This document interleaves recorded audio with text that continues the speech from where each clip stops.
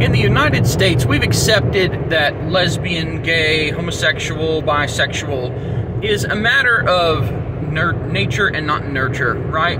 So we've chosen this path where you just are what you are and you don't have a choice. But Pride Month shoots that in the foot, and here's why. This is what I call the Pride Paradox. To actually be proud of something, you must have accomplished something. There must be some sort of work that you put into it. It can't just simply be that you are who you are. So, to be proud of who you are, what you are, you must have done something. But if it's just what you are and you didn't do anything to become that, you just are that, then there's nothing to be proud of. But wait, you are proud. You got a whole damn month saying that you're proud, right?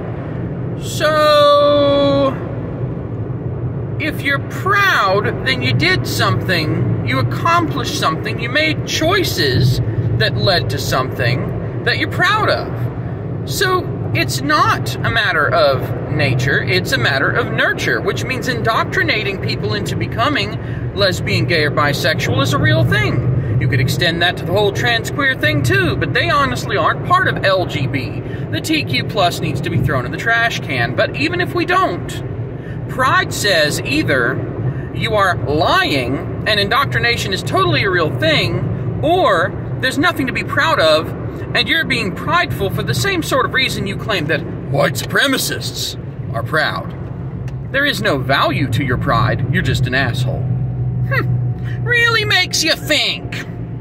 Happy Pride Month.